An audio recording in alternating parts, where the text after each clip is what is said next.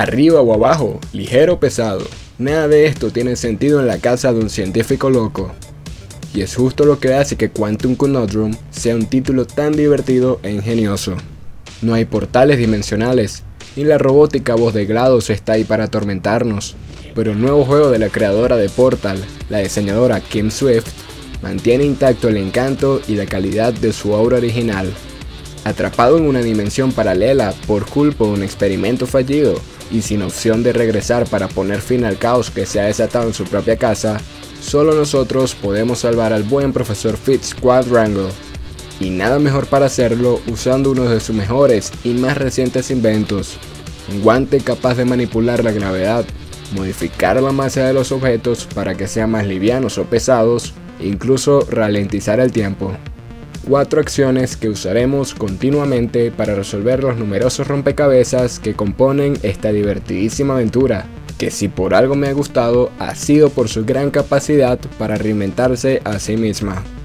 Y es que todo es posible en Quantum Conundrum, incluso poner las casas patas arriba. Lo mejor es que lo que en un principio puede parecer imposible, siempre termina con un tremendo jaja, qué arrecho soy, saliendo por nuestras bocas al dar con la solución correcta al igual que una sonrisa por haberlo logrado. Así debería ser siempre. Rematadamente loco, muy desafiante y con unos rompecabezas tan ingeniosos como originales. Existen muchos motivos para hacerse con Quantum Conundrum, pero ninguno tan importante como su capacidad para divertir por tan ridícula cantidad de dinero. Es cierto que tiene pequeños fallos, y que su final no está a la altura. Pero ahora mismo sería un pecado dejar escapar un juego como este por algo tan bobo. No en vano, juegos de acertijos hay muchos, pero pocos con la calidad de Quantum Conundrum.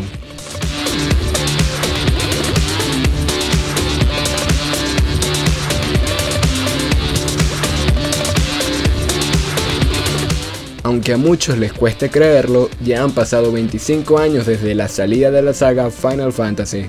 Bueno, al menos en Japón. Y por esa misma razón, Square Enix ha querido rendir un gran homenaje a la misma, ofreciéndonos un curioso pero cautivador título musical que recoge las mejores canciones de una de las sagas de rol más queridas.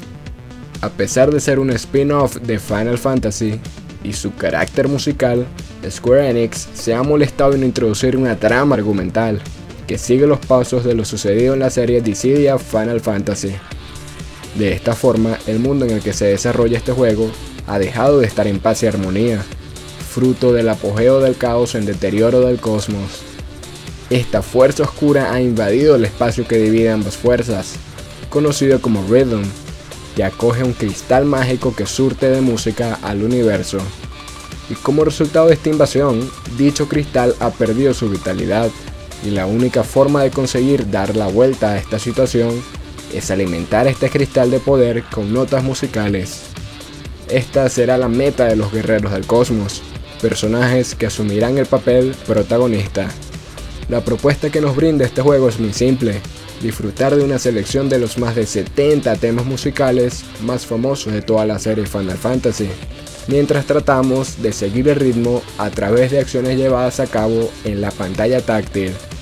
Square Enix nos brinda una producción tan curiosa como apetecible para el Nintendo 3DS. Aunque me esperaba un título algo más denso para el aniversario, Theat Rhythm Final Fantasy es un juego musical que sirve como homenaje a la serie.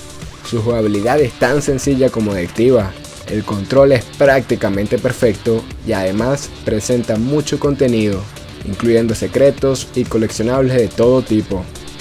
Una excelente edición para los fanáticos de la franquicia.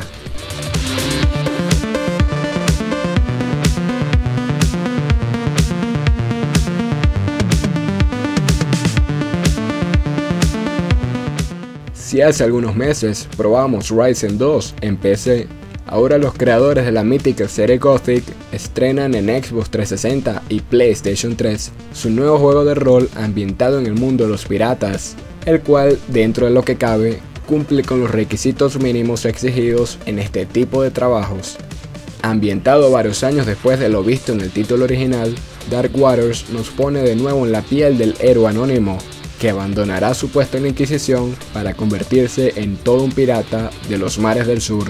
Nuestro objetivo será acabar con la temible reina de los océanos, la malvada Mara, que ha enviado su ejército de monstruos marinos contra la humanidad. Aunque esta historia no brilla por su originalidad, gran parte del atractivo recae en lo bien narrada que está la historia que se nos cuenta, siendo además una aventura muy variada en las situaciones que nos ofrece.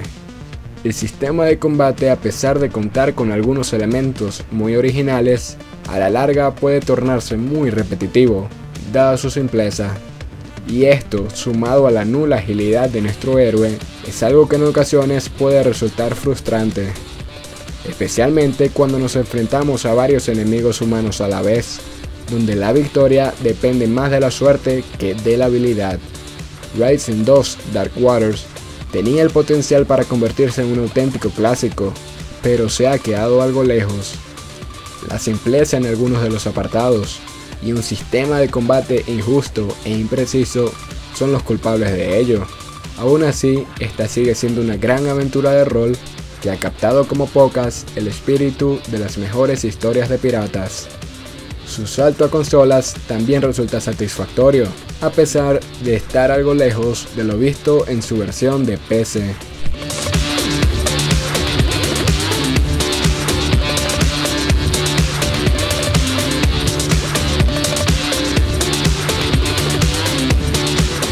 Uno de los juegos exclusivos de Nintendo 3DS más importantes y deseados del año ya está aquí, y llega repleto de encanto, ternura, mundos fantásticos y cierta polémica causada por no venir doblado al español.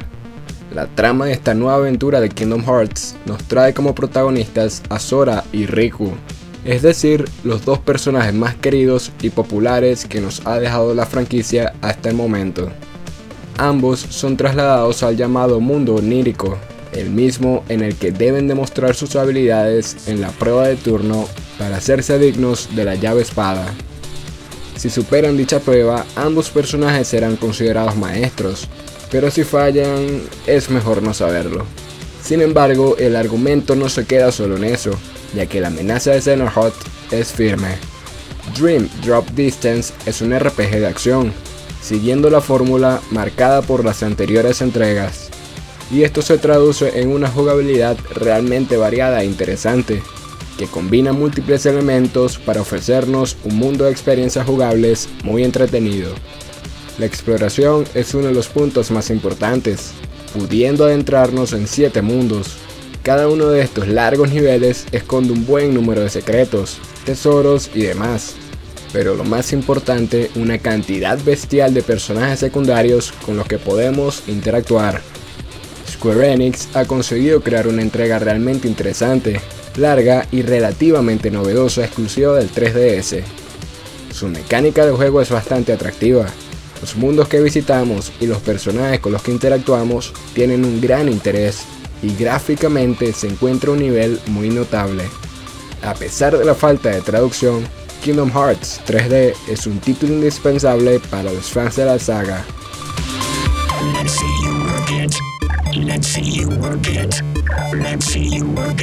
Let's see you right.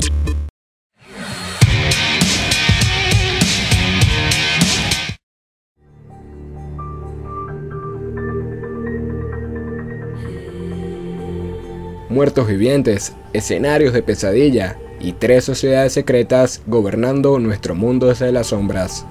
En un mercado saturado, donde cada vez resulta más difícil encontrar propuestas originales, los creadores de The Age of Conan nos sorprenden con este destacable juego de rol multijugador masivo en línea, que llega dispuesto a hacer historia. Los Illuminati, Templarios y los Dragones.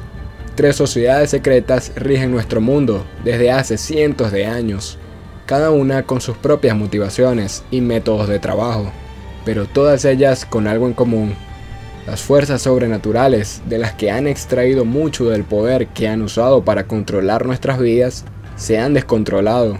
Y ahora, cuando ya no queda más sitio en el infierno, los muertos han empezado a caminar sobre la tierra. Así que toca unir fuerzas y hacer frente a un enemigo común. Pero claro, ¿a cuál de estas facciones nos unimos? simplemente por la que más nos llame la atención a nivel filosófico y político. Básicamente porque esta elección no modifica mucho la experiencia de juego, más allá de un par de misiones exclusivas y ciertas pinceladas argumentales presentadas de forma distinta. A pesar de todo, el juego cuenta con un editor de personajes muy limitado. Las animaciones se ven un poco robóticas y el viaje a través de las distintas regiones del juego pueden ser una verdadera ladilla por los elevados tiempos de carga. Funcom nos regala un tremendo juego al que le ha faltado algo más para brillar junto a los grandes del género. Tiene un enorme potencial y por ambientación y diseño de misiones se merece todos los halagos del mundo. Pero una vez más, los errores técnicos y cierta falta de contenidos jugables son una molestia importante. Pese a ello, The Secret World sigue siendo una compra muy recomendable, más que nada porque es un título único en su género.